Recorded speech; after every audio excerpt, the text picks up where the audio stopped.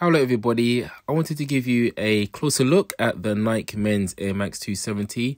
I absolutely love how these feel. I'll put them on in a second in this video so you can see how they look.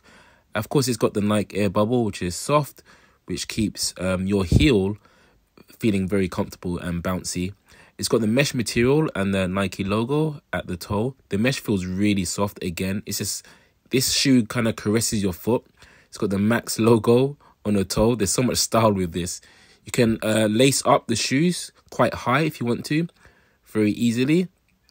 I'm doing that with one hand. Technically, this is a running shoe, even though it's stylish and a lot of people use it just for fashion. You can see my toes at the front, how there's a, a nice crease. So it is good if you do want to run in them or jog.